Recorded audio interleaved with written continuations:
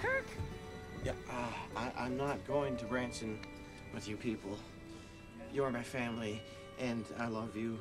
Uh, but really, with the exception of Mom, you're all a bunch of blood-sucking vampires who never support anything I do. I, I'm going to go find Molly and show her that I am good enough. So, fuck you, Debbie. Fuck you, Dylan. Fuck you, Dad.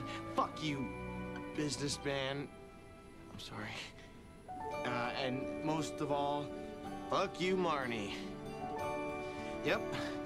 You never deserved me in the first place. You evil little dwarf. So fuck you all! Yep.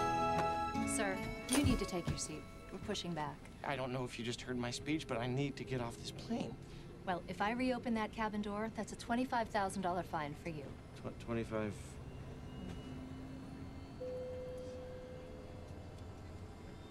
What do you want to do? Is there another seat I could take?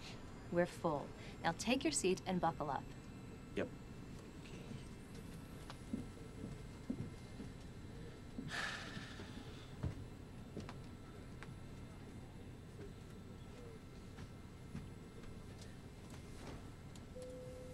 Cabin crew, lock doors and cross-check. Gonna be a long flight, eh, pirate?